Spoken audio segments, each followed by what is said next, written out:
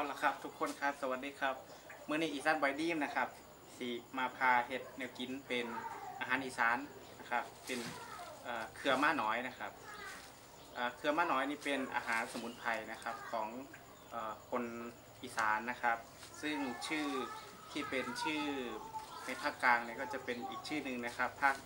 ภาคเหนือก็จะเป็นอีกอีกชื่อหนึ่งนะครับ เรียกคนละชื่อกันนี่ครับลักษณะของใบนะครับก็จะเป็นใบ เหมือนคล้ายๆใบโพนะฮะที่ว่ามันก็จะมีขนนะครับ มีขนนิดนึง แล้วก็ใบแก่มันนี่ก็จะมีประมาณสักฝ่ามือนะครับขนาดนะครับ แล้วก็จะเป็นลักษณะเป็นรูปหัวใจนะครับ อันนี้เราก็เดี๋ยวผมจะมาทำสไตล์ของผมเองนะครับ เป็นอาหารสไตล์อีสานบอยดีนะครับ ก่อนอื่นเนี่ยผมจะยังไม่คั้น เพราะว่าถ้าเราจะคั้นเนี่ย มันจะเป็นวุ้นเส้นแล้วมันจะมันจะเป็นวุ้นแล้วมันจะแข็งนะครับ ก็ผมจะมา